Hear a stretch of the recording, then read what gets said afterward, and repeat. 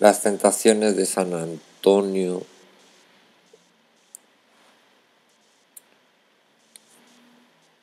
El cerdo de San Antonio no solo hacía compañía.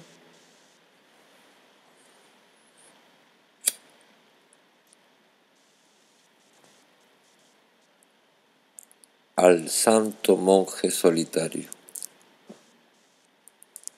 En el desierto de la Tebaida.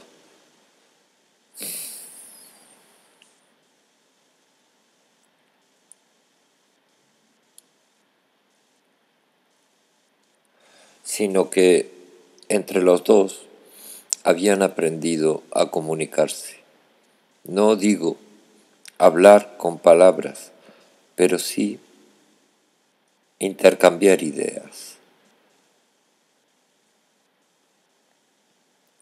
El buen cerdo, con su inteligencia, quizá ayudó al ermitaño en el camino de la santidad, como Sancho Panza, más tarde ayudaría a Don Quijote en el de la genuina caballería.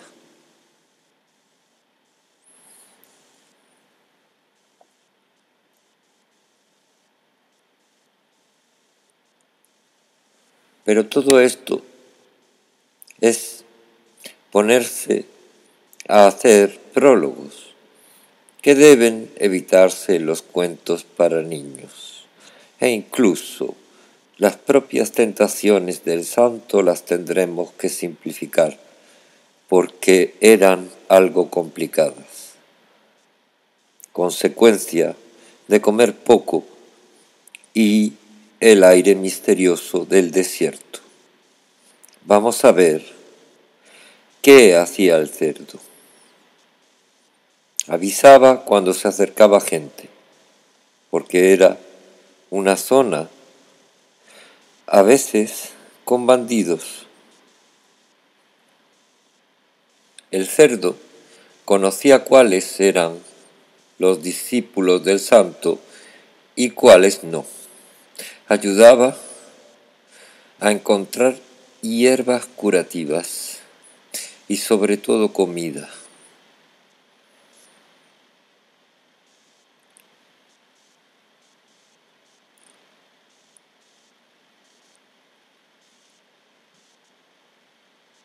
Mendigaba también para el santo, porque cuando la gente veía al cerdo, le daba pena y daban algo de comer a los dos. Pero sobre todo el cerdo lo despertaba todas las mañanas cuando el santo estaba soñando sus tentaciones y con sus pequeños gruñidos le devolvía el sentido de la realidad.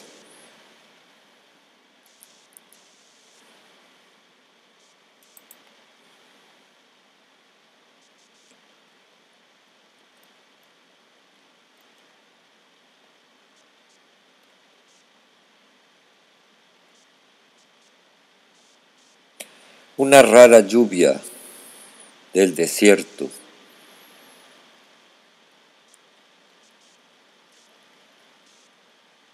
que a veces tiene lugar, caía sobre la cueva del santo. Y éste se había quedado dormido. Hacía poco tiempo que había decidido ser santo. Así que todavía no había tenido ninguna tentación.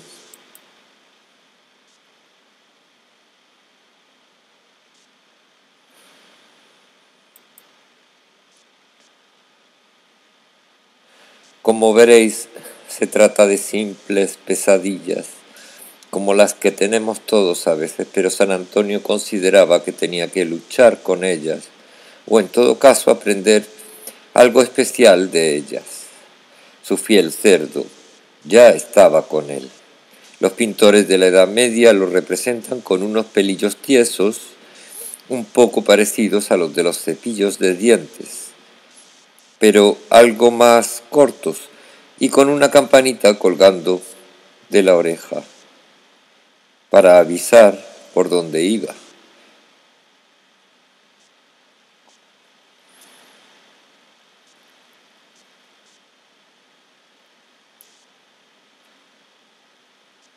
Esa primera noche, u hora de la siesta, el santo se imaginó que ya estaba muerto.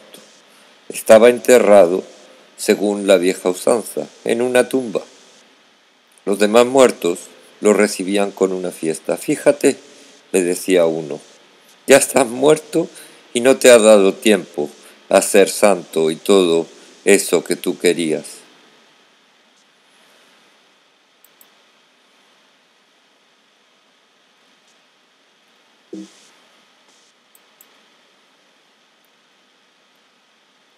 Se despertó de muy mal humor y muy temprano y se puso a hacer ruido en la cueva, cambiando los libros de sitio y arrastrando la silla por donde pensaba escribir sus milagros, tentaciones o lo que fuese surgiendo. ¿Qué pasa? indicaba con gestos el joven cerdo. Pues que he soñado que estaba ya muerto. En cierto modo, decía el cerdo, moviendo la cabeza, así ya ha pasado lo peor.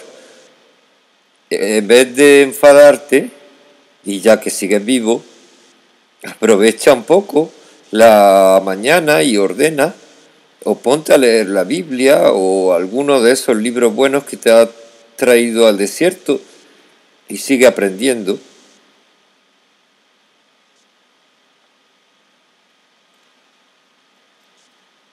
San Antonio, como ocurría en su época, y todavía hoy día entre los más fanáticos, no solamente creía en Dios, sino en la existencia de los demonios.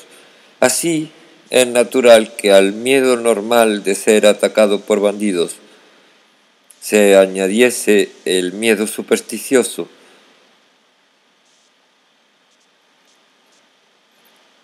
Es un fanático, pensaba el cerdo de San Antonio. Pero se quedaba con él porque dos se defienden mejor que uno. Un día, un lobo de verdad se acercó a la cueva. Había que tener cuidado y no salir. Así que San Antonio abrió su libro y apuntó segunda tentación después del sueño de la tumba. Aparición del diablo en forma de lobo muy, muy feroz, con dientes que arrastran hasta el suelo y orejas de punta que llegan hasta el cielo. Luego pensó que si las orejas llegaban de verdad hasta el cielo, escucharían los consejos de Dios y el lobo entonces no sería el diablo. Así que lo cambió el final y puso y con orejas gachas y el rabo entre las piernas, que quiere decir asustado de todo y muy dócil.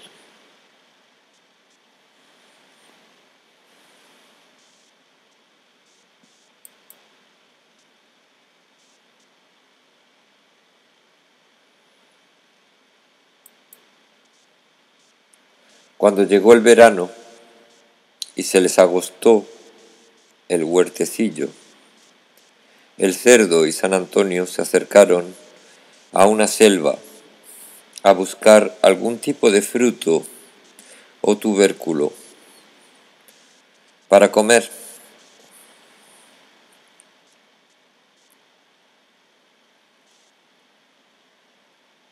¿Por qué se me aparecen los dioses de la memoria y no Jesucristo, que debería ser el verdadero? exclamó San Antonio poniéndose de rodillas. El cerdo, que buscaba tubérculos, dejando buscar la fruta a San Antonio por ser más alto, se acercó a escucharlo y, preguntarle otra vez, ¿qué pasa? Mira, San Antonio señalaba, como cuentan las crónicas de San Atanasio, la copa de un árbol con un largo leopardo acomodado a una cómoda rama. Vámonos de aquí, le daba a entender el cerdo, con empujones, para levantarlo. ¿No te parece un excelente animal de compañía? preguntaba a su cerdo acerca del majestuoso leopardo el santo. ¿Te parezco poco majestuoso yo? dijo el cerdo. No tengo manchas por todos lados como él. Y además, además ese leopardo es es otro demonio.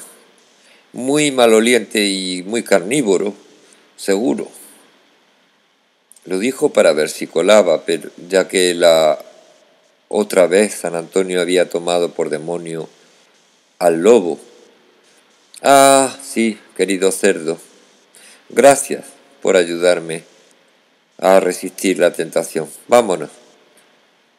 Menos mal que les dio tiempo a recoger una piña llena de piñones y unas uvas tempraneras que a pesar de que la canícula no hacía sino empezar, ya estaban maduras. Pudo ser de milagro.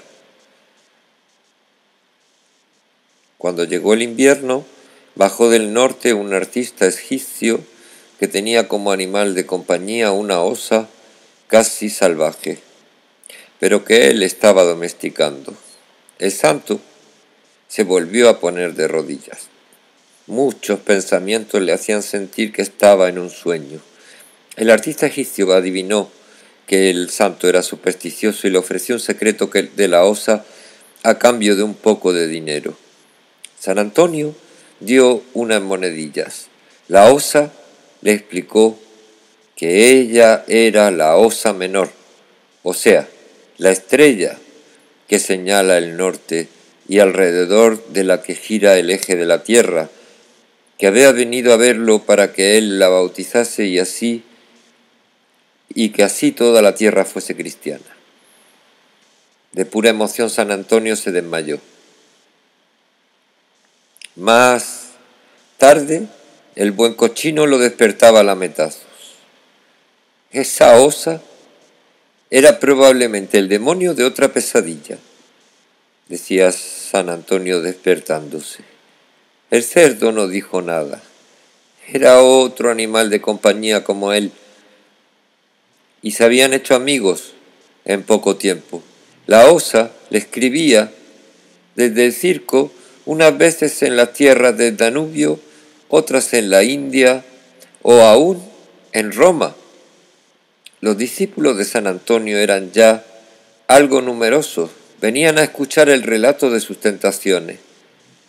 La famosa tentación de la tumba, la del lobo, la del leopardo, que es el animal de Dioniso o Baco, y ahora lo de la osa menor. Ese deseo de escuchar más tentaciones hizo que algunos discípulos, por prisa, ayudaran a producirlas, como cuando metieron una serpiente en el dormitorio de San Antonio, pero antes tuvo lugar la maravillosa y terrible aparición de un león, en nada prevista. Es cierto que en la Tebaida, cerca de las fuentes del río Nilo, hay realmente leones, pero este león no era en nada un león común. un sonido como de 300 guitarras lo acompañaba cada gruñido. Los discípulos y el cerdo estaban como dormidos, porque el león se aproximaba muy despacio, con paso gimnástico y felino. ¿Sabes que te puedo comer? dijo el león. No tengo miedo, Tú no eres un león como los otros, respondió San Antonio. ¿Sabes que soy eh, el rey de la naturaleza? Sí lo sé, respondió el santo mientras todos dormían. Pero yo no te estoy esperando a ti, sino al rey del cielo, que es Jesucristo. ¿Eres tú acaso? No, no lo soy, dijo el león, ardiendo como una hoguera y desapareciendo.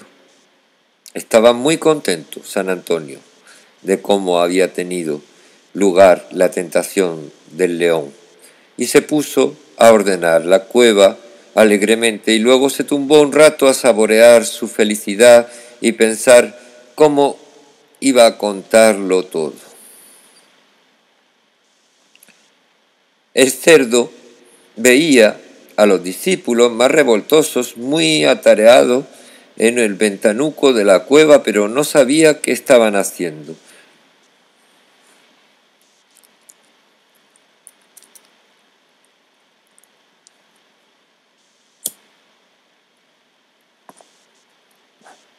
Estaban metiendo la serpiente, tenían preparado un texto para leer por una trompetilla como si fuese la serpiente.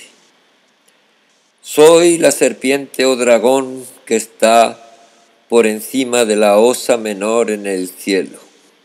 Al lado de la estrella del norte está el punto alrededor del que gira, no ya la Tierra, sino el cosmos entero, el eje del mundo. El viejo ermitaño vio la serpiente, tuvo un escalofrío, le hizo sitio en el camastro y se quedó quieto, meditando. Desde fuera de la cueva los discípulos escuchaban atentamente, a ver si decía alguna tontería. Entonces otra vez y es bastante raro, estalló una tormenta con truenos, rayos de fuego, diluvio de mucha agua, una verdadera inundación. Se fueron todos en un barquichuelo muy asustados. El cerdo entró en la cueva y vio a San Antonio con la serpiente en medio de las aguas. La serpiente cogió al cerdo y al santo y los llevó por el oleaje sobre su lomo hasta un lugar seco. Cuando el discípulo está listo, el maestro llega, dice un verso del yoga que San Antonio conocía. ¿Ves, querido cerdo? Esos discípulos me han regalado con sus bromas de ignorantes y de irresponsables la preciosa y salvadora serpiente de la sabiduría. No tiene veneno, toda ella es larga y sinuosa como el camino del solitario, y en medio de las aguas está seca, o como la serpiente de Moisés, en medio del seco desierto, hace correr el torrente de una fuente. ¿Cómo se complace mi amo en sus visiones. Y qué orgulloso está, pensaba con una cierta melancolía nuestro querido cerdo. Iba con la cabeza gacha, olisqueando el, el suelo, y un escorpión del desierto le dio un picotazo con el aguijón en la, de la cola y dos pellizcos con las pinzas. Ante tanto dolor que sentía el cerdo, se preguntaba de dónde podía salir tanta maldad con solo levantar una piedra. Gritaba y tenía el morro hinchado por el veneno. San Antonio lo cuidó. Al fin y al cabo, era su único amigo, y así que le estuvo restregando hierbas curativas por los hocicos para hacerle escupir el veneno. El cerdo lloraba y no quería que lo dejasen solo, necesitaba que su amo le hablase todo el rato. Así que San Antonio le estuvo contando la fundación de Roma desde el origen de la dinastía de reyes romanos en la antiquísima ciudad de Troya, de la que habla Homero largamente en la Ilíada. Esa es una vieja leyenda que no toma en cuenta la existencia de los etruscos, que son los verdaderos antepasados de los romanos. Pero Virgilio, otro poeta, dice que un abuelo de Rómulo y Remo, los gemelos fundadores de Roma, era el pío Eneas y que venía de Troya. ¿Y qué tiene esto que ver con el escorpión? Parecía decir en sus lloros el cerdo. Ese escorpión se me hace a mí que a su manera es una suerte de demonio que habría venido a tentarte, o, sea, picarte a ti como representante mío entre los seres pequeños. Y ten por seguro que es una alta representación de la maldad del mundo y de su misterioso poder. Por eso te duele tanto. Sabes que la ciudad de Roma, que domina tiránicamente todo el mundo,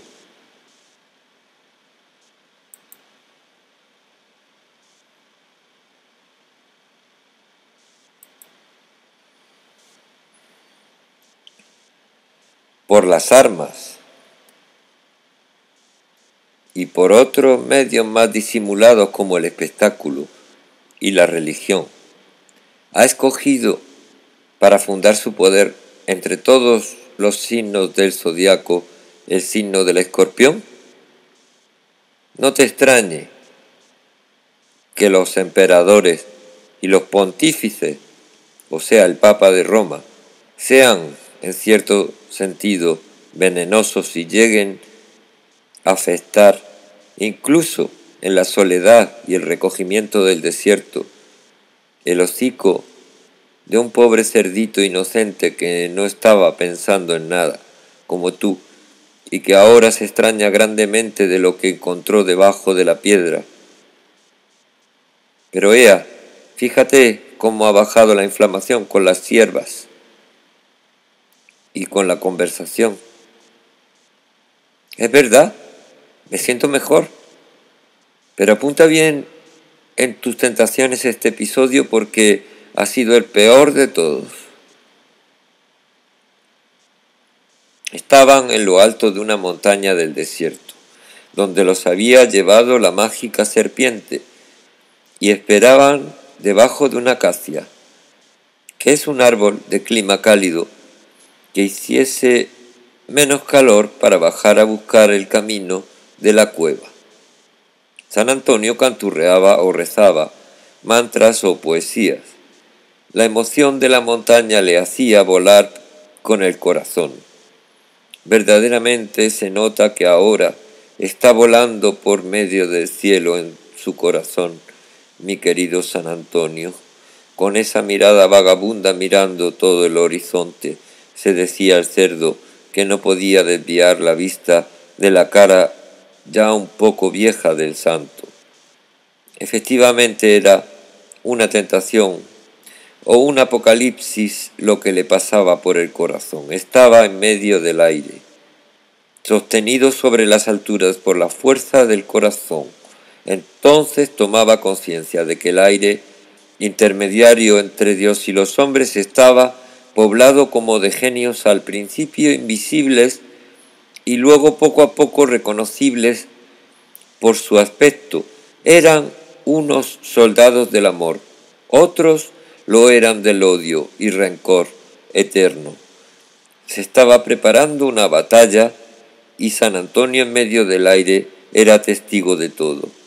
Se le representa con unos demonios con cara de culo, y brazos de saltamontes que le están tirando de la bata.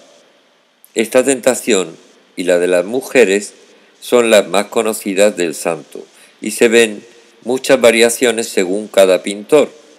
Los hay que aprovechan para dibujar en una especie de gran batalla todas las enfermedades conocidas, como si pudiese servir el cuadro así como una especie de mapa medicinal. No sabemos decir si estaba todavía en el aire porque todo pasaba debajo de la acacia.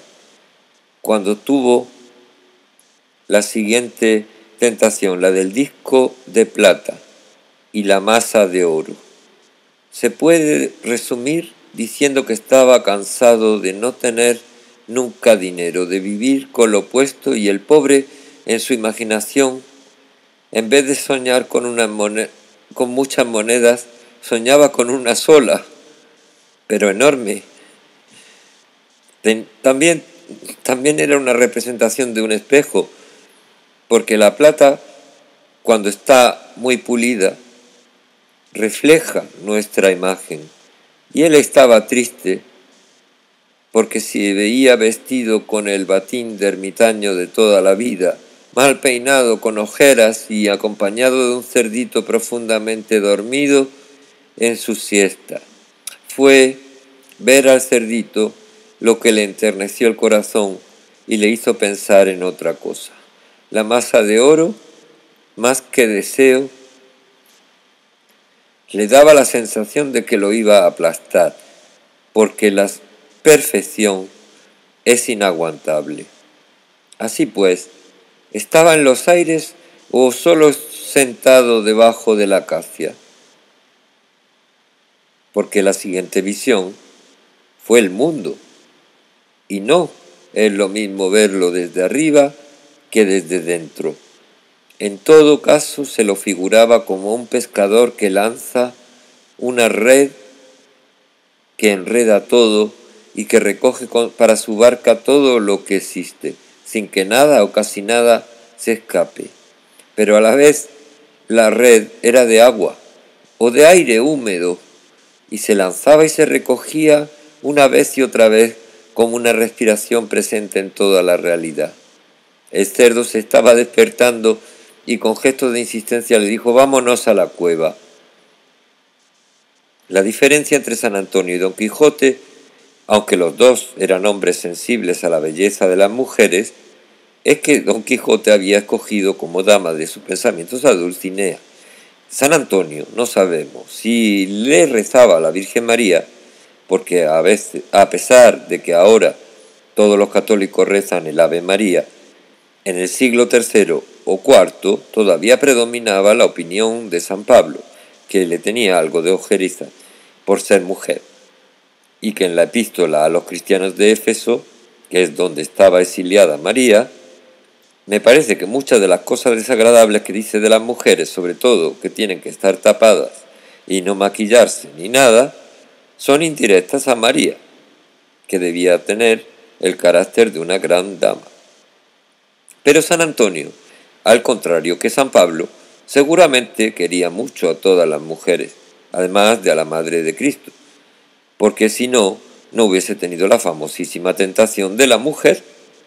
Vamos a ver, el cochinillo movía la cola de lo contento que estaba de ver a una chica guapa, pero el asunto se convirtió en tentación por culpa de los discípulos, que habían vuelto y que se inventaron un dispositivo para multiplicar la belleza y crear en nuestro querido San Antonio la alucinación de un ejército infinito de mujeres. Cuando esta mujer, interesada en conocer la vida de San Antonio, ya que estaba de paso por la Tebaida, y ella también se interesaba en la mística, se acercaba a la cueva, los discípulos colocaron unos armarios con espejos a todo lo largo del camino. Eso multiplicaba la imagen de forma insoportable para el pobre viejo, que no estaba acostumbrado a ver tanto a la vez. Así, estuvo muy seco, muy tímido, y apuntó en su libro que ese día lo había pasado fatal. Hay hasta versiones budistas y chinas que cuentan que para complacer al viejo santo,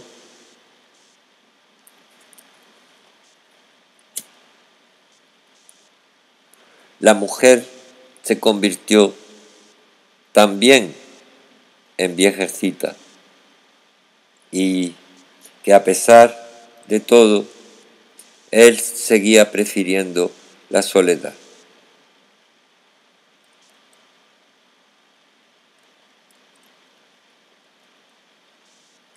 Luego San Atanasio cuenta otras tentaciones.